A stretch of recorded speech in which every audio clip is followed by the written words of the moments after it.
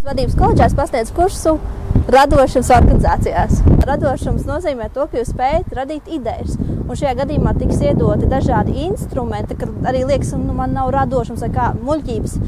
Te parādīsim, ka jebkuram ir radošums, tos instruments, kā to radošumu no sevis izmānīt un no citiem ārā. Līdz ar to, lai jebkurā brīdī jums ir uzdevums, kaut kāds case problēma, jūs varētu ar atbilstošiem instrumentiem viņu atrisināt ļoti vienkāršā veidā. Lai gan tā ir tā mācība, viss tiek vērsts vēl vairāk, lai būtu praktiski. Tad, lai nevarēs sēdēt pie datora un apgūt tās lietas, ko var izlasīt internetā, bet reāli tiek dot izaicinājumi praktiskai darbībai. Tātad, jo praktiski darbojoties, mēs vairāk iemācāmies.